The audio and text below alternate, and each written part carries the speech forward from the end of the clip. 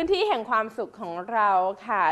หลายๆสองสองสองเดือนที่ผ่านมานะคะโยก็จะยังจะพูดถึงในเรื่องราวเกี่ยวกับน้ำท่วมนะคะ ไม่ว่าจะเป็นในเรื่องเกี่ยวกับผู้ประสบภัยเอง หรือแม้กระทั่งหน่วยงานนะคะ ที่ให้ความสนับสนุนน้ำท่วมนะคะ อีกหน่วยงานหนึ่งก็คือโฮมโปรของเราเนี่ยแหละค่ะโฮมโปรเอ็กซ์โปเนี่ยเพื่อจะจัดขึ้นมาเนี่ยเขาจัดครั้งนี้เนี่ยขึ้นมาเพื่อที่จะช่วยเหลือนะคะ คนที่กำลังต้องการที่จะหาของเข้าบ้านนะคะมาดูแลเมื่ออาทิตย์ที่แล้วนะคะเราได้เชิญนะคะคุณไม้นะคะผู้จัดการทั่วไปนะคะของของโฮมโปรนะคะมาพูดคุยแล้วแต่วันนี้นะคะเราก็เชิญอีกหนึ่งท่านนะคะอย่าลืมนะคะที่ผ่านมาเราพูดถึงโฮมโปรแชมเปี้ยนวันนี้นะคะเราได้นะคะผู้เข้าแข่งขันผู้ที่ได้ รับรางวัลชนะเลิศของการแข่งขันมาพูดคุยกับเรา แต่ก่อนที่จะไปพบกับเขานะคะโยมีเรื่องราวข่าวอัปเดตหลังน้ำลดเนี่ยค่ะจะเป็นยังไงต้องติดตามได้ในช่วงหน้าค่ะ ในช่วง Color News ค่ะ ช่วง Color News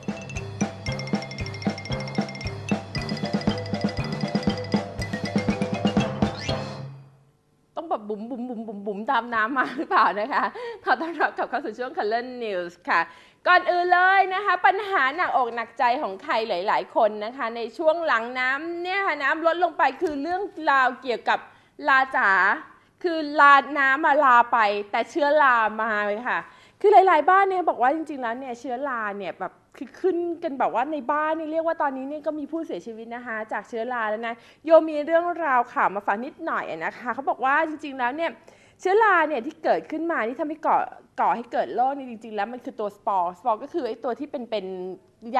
ขนๆเนี่ยค่ะที่มันล่องลอยในอากาศเนี่ยซึ่งหลาย ๆ คนเนี่ยไม่รู้บอกว่าเห็นแต่ว่าสนใจแต่ว่าอุ๊ยมันเกาะตามพื้นตามผนังที่มันเป็นสีดำๆทั้งหลายจริง ๆ แล้วเนี่ยที่น่ากลัวกว่านั้นก็คือบรรดาสปอร์ทั้งหลายที่ตามตามอากาศทั้งหลายเนี่ยนะคะดังนั้นเนี่ยคุณผู้ชมท่านใดที่ตอนนี้นะคะจะต้องเข้าไปนะคะเข้าไปในบ้านนะคะต้องเตรียมอย่างเช่นนะคะ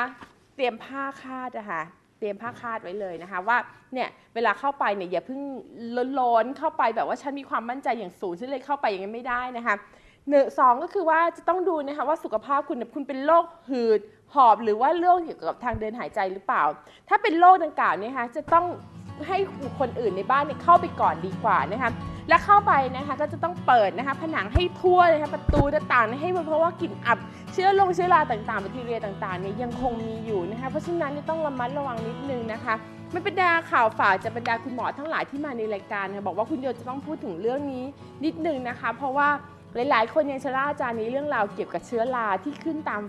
ตามผนังต่างๆ แต่นะคะไม่ใช่เพียงแค่ในส่วนของน้ำท่วมเท่านั้นเองนะคะ แม้ทั้งบ้านเราทั่วไปที่บริเวณที่มีเป็นจุดอับเนี่ยเราก็ต้องระมัดระวังด้วยเหมือนกันนะคะ นอกจากนั้นแล้วนะคะคุณผู้ชมคะเดี๋ยวโยจะมีคลิปวิดีโอมาให้ดูนะคะ นี่เลยนะเรื่องราวเกี่ยวกับรับมือเนี่ยเตรียมตัวให้พร้อมนะคะ หลังน้ำลดนะคะ จะเป็นยังไงต้องดูได้ในวิดีโอค่ะ ตอนที่ 9 ตั้งหลักหลังน้ำลด เมื่อได้ยินคำว่าน้ำลด คนส่วนใหญ่ย่อมดีใจ ที่กำลังจะได้กลับไปใช้ชีวิตตามปกติ แต่คำว่าน้ำลดอาจไม่ใช่เรื่องที่น่ายินดีที่สุดสำหรับอีกหลาย ๆ คน โดยเฉพาะผู้ที่ประสบภัยน้ำท่วมบ้านไปแล้ว เพราะแม้น้ำจะลด แต่ความกังวลเรื่องสภาพบ้านหลังน้ำท่วมไม่ได้ลดลงด้วยเลย หลายคนจินตนาการไม่ออกว่า บ้านที่เราเคยอยู่จะเป็นอย่างไร จะมีอะไรเสียหายบ้าง แล้วเราจะเริ่มต้นฟื้นฟูอย่างไร เพื่อให้เราเตรียมใจให้พร้อมรับมือกับสภาพบ้านหลังน้ำท่วม วันนี้เราลองไปดูสถานการณ์สมมุติจากบ้านของนายสติกันว่า หลังน้ำลดเขาจะต้องเจอกับอะไรบ้าง พี่รู้น้องยังไม่ลืมและคงฝังใจครับก่อนเข้าบ้านลองตรวจสอบข่าวสาร และสถานการณ์ให้แน่ใจที่สุดก่อนจะกลับเข้าไป เพื่อที่เราจะได้ไม่ต้องย้ายเข้าออกหลายรอบ ไม่ควรเข้าไปคนเดียว เพราะเมื่อเกิดเหตุฉุกเฉินขึ้น จะได้มีคนคอยช่วยเหลือได้ เตรียมอุปกรณ์จัดการบ้านมาให้พร้อม เช่น ไม้กวาดทางมะพร้าว ถุงขยะ ไม้ถูพื้น แปรงขัด ผ้าคีริ้ว ถังน้ำ น้ำยาทำความสะอาดบ้าน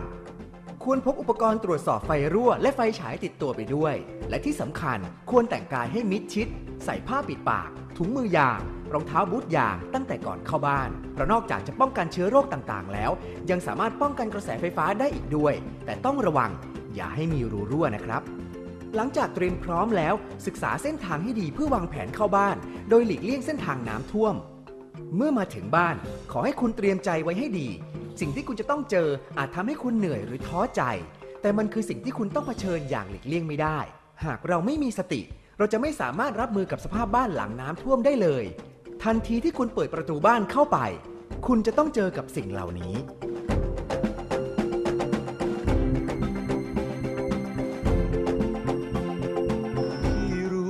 ยังไม่ลืมและคง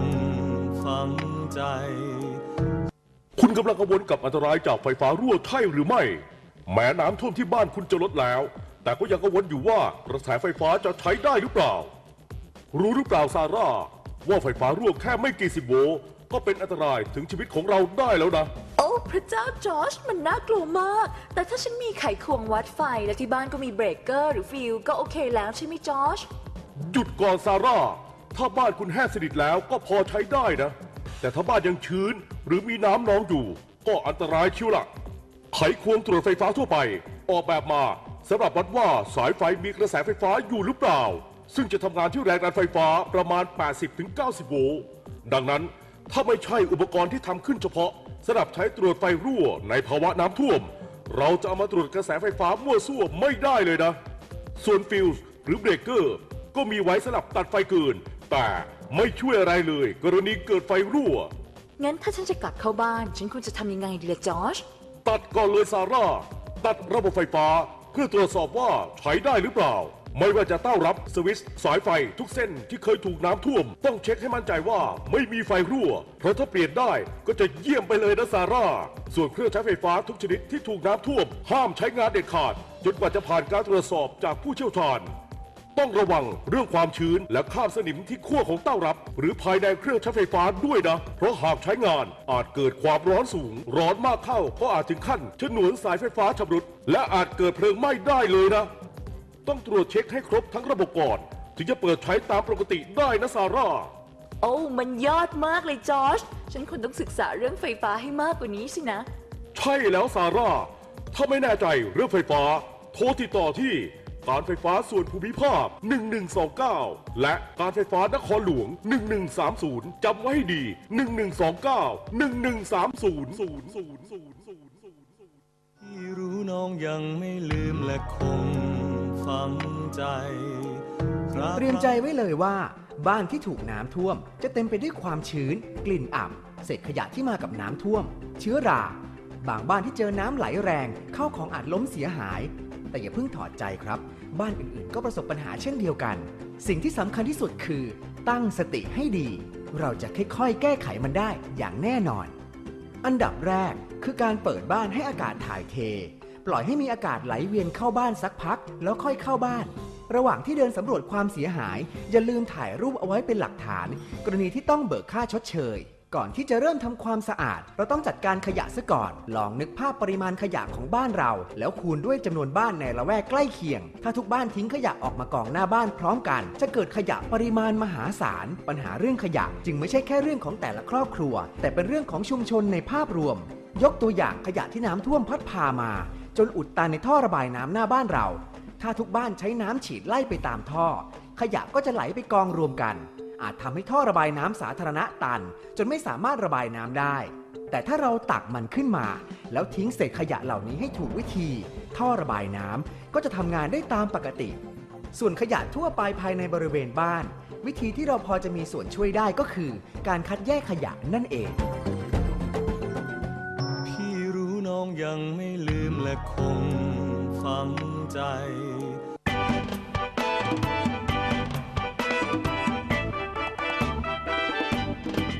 แยกขยะแล้วมันจะดียังไงทำไม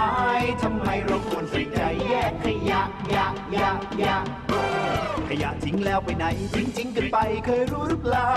ขยะจากบ้านของเราไปสุ่มกันเป็นภูเขาลูกใหญ่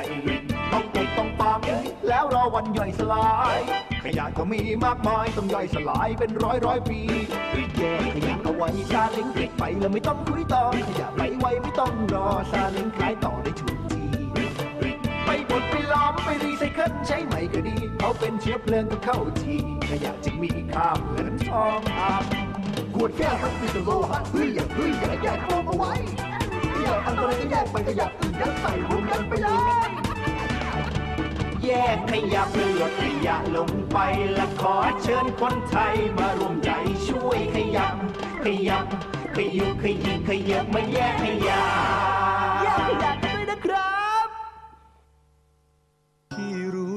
ยังไม่ลืมและคงฝังใจ หลังจากจัดการขยะเรียบร้อย ก็ได้เวลาล้างบ้านกันสักที ซึ่งข้อควรระวังที่สุดสำหรับการล้างบ้านก็คือเชื้อรา เพราะเชื้อรามีทั้งแบบที่เรามองเห็นและเรามองไม่เห็น หากเราสูดดมเชื้อรามากๆ ก็อาจก่อให้เกิดโรคปอดอักเสบได้ การทำความสะอาดเชื้อรา มีข้อควรระวังดังนี้ การใช้น้ำแรงดันสูงฉีด จะยิ่งทำให้เชื้อราฟุ้งกระจายควรใช้วิธีราดน้ำ เช็ด ขัดจะดีกว่า สารทำความสะอาดเบื้องต้น ใช้สบู่เหลว หรือผงซักฟอกผสมน้ำทำความสะอาดได้เลย แต่หากมีเชื้อราอยู่มาก ใช้แอลกอฮอล์เช็ดซ้ำอีกรอบ หรือจะใช้น้ำยาฟอกขาวผสมน้ำเช็ดก็ได้ แต่ต้องผึ่งให้แห้งก่อนนำเข้าของกลับมาใช้นะครับล้างบ้านเสร็จเรียบร้อยแล้ว ให้เปิดประตูบ้านทิ้งไว้ ปล่อยให้อากาศถ่ายเท รอจนกว่าจะแห้ง สิ่งที่เราทำได้ระหว่างรอ คือการผ่อนคลายทั้งร่างกายและจิตใจ ขั้นตอนต่อไปจากนี้คือการซ่อมแซม แต่ละบ้านมีสิ่งที่ต้องซ่อมแซมแตกต่างกันออกไป ซึ่งเราจะทิ้งอะไร และจะซ่อมอะไรบ้าง ก็คงเป็นการตัดสินใจของแต่ละครอบครัว และสิ่งที่ต้องซ่อมแซมก็ไม่ใช่แค่บ้าน แต่ยังมีเรื่องของสภาพจิตใจด้วย ไม่มีอะไรที่จะฟื้นฟูสภาพจิตใจของครอบครัว ได้ดีไปกว่าคนในครอบครัวเอง ลองตั้งสติสักนิด พูดคุยกันมากขึ้น เพื่อวางแผนการฟื้นฟูบ้านของคุณให้กลับมาเหมือนเดิม เราได้รวบรวมลิงก์ที่เกี่ยวข้องกับการฟื้นฟูบ้านไว้ด้านล่าง ลองเลือกศึกษาตามเรื่องที่เหมาะสมกับบ้านคุณดูนะครับ